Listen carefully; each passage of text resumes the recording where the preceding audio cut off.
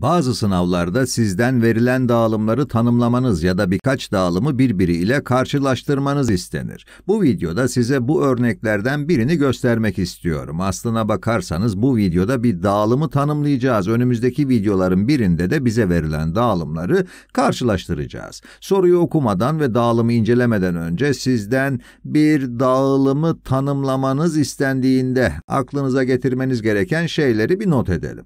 Bunlardan biri dağılım dağılımın şeklidir.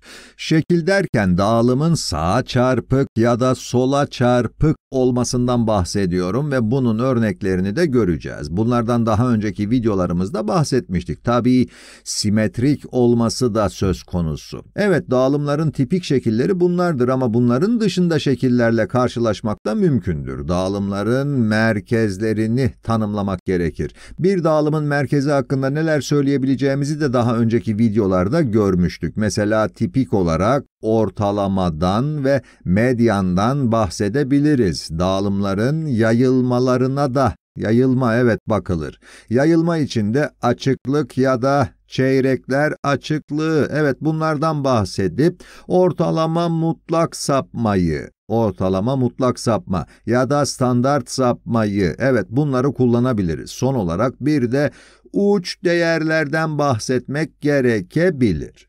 Dağılımın uç değerleri olmasa bile bu konuda yorum yaparak hiçbir şeyi unutmadığınızdan emin olmalısınız. Şimdi de bu konuştuklarımıza dayanarak bize verilen dağılımı tanımlamaya çalışalım. Connecticut eyaletinde motorlu taşıtlar dairesi 16 ve 17 yaşındaki sürücülerden öğrenci ehliyeti alabilmeleri için 25 soruluk bir testi geçmelerini istemekteymiş. Testi geçebilmek için 25 sorunun 20'sine doğru yanıt verilmeliymiş. Bir pazartesi günü, burası çok önemli pazartesi günü teste giren 22 adayın aldıkları puanlar aşağıdaki grafikte verilmiş. Hadi bakalım hemen videoyu durdurun ve bu dağılımı, şekli, merkezi, yayılması ve uç değerleri ile siz tanımlamaya çalışın.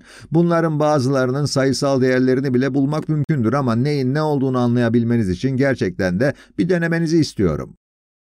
Şimdi de hep birlikte yapalım. Önce şekli halledelim. Grafiğe baktığımızda dağılımdaki verilerin çoğunun 20 ile 25 arasında toplandığını ve sola doğru uzanan uzun da bir kuyruk olduğunu görüyoruz. Bu dağılımın sola çarpık olduğu anlamına gelir. Evet şeklini hallettik. Kuyruk sola doğru uzandığı için bu sola çarpık. Evet sola çarpık bir dağılımdır. Peki ya merkezi?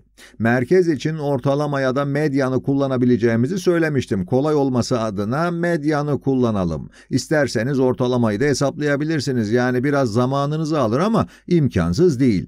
Grafiğe şöyle bir göz attığımda medyanın aşağı yukarı bu aralıkta olduğunu düşünüyorum ama gerçekten nerede olduğunu hesaplayabiliriz. 22 tane veri noktası olduğuna göre medyan bu noktaların tam ortasında olan ee, bir bakalım. 1, 2, 3, 4, 5, 6, 7, 8, 9, 10, 11. Bu verileri küçükten büyüğe dizdiğimizde medyan ortadaki verinin ya da verilerin demeliyim. Evet 11. ve 12. veri noktasının ortalamasıdır.